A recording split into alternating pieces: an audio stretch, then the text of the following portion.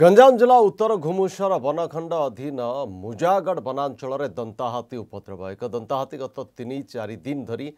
ମୁଜାଗଡ଼ ନିକଟ ନିଧିଆପଲ୍ଲୀ ଓ ଖାରିଗୁଡ଼ା ରାସ୍ତା ପାର ହେଉଥିବା ଦେଖିବାକୁ ମିଳିଛି ଦନ୍ତାଟି ଭଞ୍ଜନଗର ଫୁଲବାଣୀ ମୁଖ୍ୟ ରାସ୍ତା ପାର ହେଉଥିବା ବେଳେ ସେ ରାସ୍ତା ଦେଇ ଯାଆସ କରୁଥିବା ଲୋକେ ମଧ୍ୟ